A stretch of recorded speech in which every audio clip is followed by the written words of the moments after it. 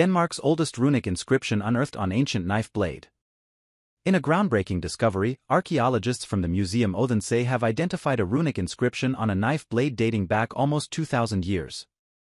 The remarkable find was made in a small burial ground east of Odense, where the blade was found deposited in an urn.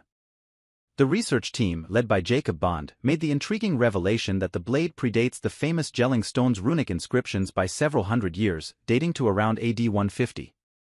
Describing the find, Jacob Bond expressed his excitement, stating, It is one of the most amazing things an archaeologist can experience because it is an incredibly rare find.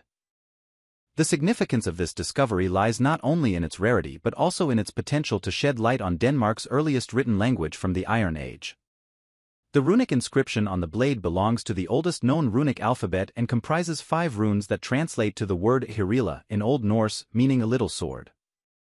The researchers at the Museum Odense, however, face the challenge of definitively determining whether Hirila refers to the name of the blade or its owner.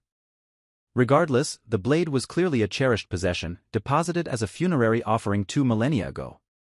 Lisbeth Imer, from the National Museum, highlighted the rarity of finding runes as old as those on this blade and emphasized the unique opportunity it presents to gain insights into Denmark's earliest written language.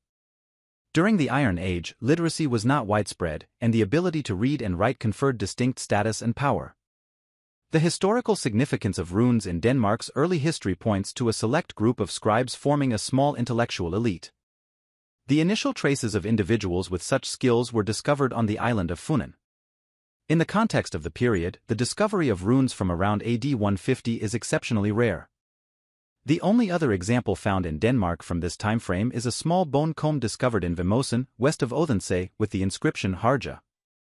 This archaeological find not only enriches our understanding of Denmark's ancient history but also highlights the significance of literacy during the Iron Age.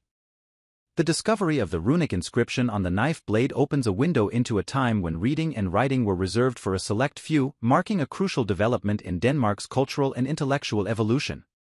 As researchers continue to analyze and interpret this extraordinary find, it promises to unveil further insights into the early roots of Denmark's written language and the societal structures of the Iron Age.